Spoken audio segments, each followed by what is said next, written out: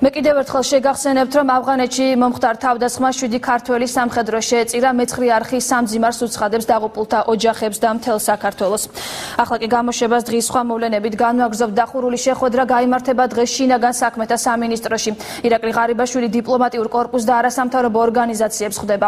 შეხვედრაზე პირადი ცხოვრების ამსახველი ფარული ჩანაწერების შესახებ ისაუბრებენ. სავარაუდოდ დღეს გაირკვევა მოხდება თუ არა მასალების განადგურება თუ გამოძიების ინტერესებიდან გამომდინარე დროებით მათი შენ შენახვა მოხდება.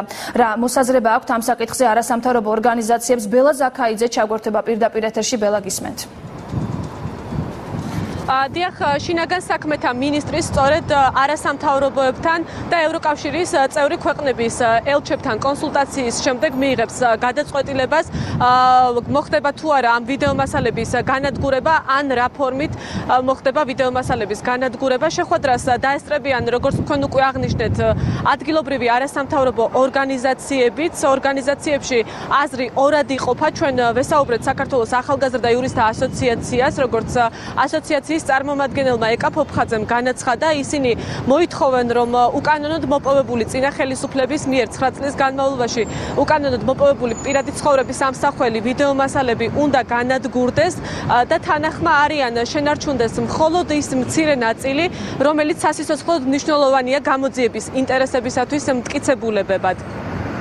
მაქსიმალური აქცენტი უნდა გაკეთდეს იმისკენ, რომ განადგურდეს ეს ფარული ჩანაწერები, რომელიც პირის პირადი ცხოვრების ამსახველია და ასევე მაკომპრომენტირებელი არის. ის რაც დარჩება, უნდა იყოს მხოლოდ უკიდურესი აუცილებლობიდან გამოწვეული სასიცოცხლო მნიშვნელოვანი რაც არის გამოძიების ინტერესებიდან გამომდინარე. და ამავე დროს ეს უნდა იყოს ბუნებრივია ძალიან მცირე რაოდენობით. არასამთავრობო ორგანიზაციების მეორე ნაწილი ფიქრობს, რომ უკანონოდ მოპოვებული ფარული ვიდეო მასალა საერთოდ არ უნდა განადგურდეს, ვიდრე სასამართლოს კონკრეტული გადაწყვეტილებები არ იქნება მიღებული, როგორც ისინი აღნიშნავენ, ამ ვიდეო მასალების შემქმნელებმა პასუხი უნდა აგონ კანონის წინაშე და შესაბამისად ეს მტკიცებულებები გამოძიებას დაჭირდება და მანამდე არც ერთი ვიდეო მასალა არ უნდა განადგურდეს. ეს მასალები არ უნდა განადგურდეს, იქიდან გამომდინარე, რომ იმ პირების პასუხისგებლობის საკითხი უნდა დადგეს, ვინც აი მასალებს ქმნიდა და ხელს უწყობდა იმას, რომ ხალხი დაეშატაჟებინა და ამ მასალების განადგურებით ჩვენ კარგავთ ირჩიან მტკიცებულებებს იმისა, რომ შემდგომში პასუხისგებლობის საკითხი დადგეს.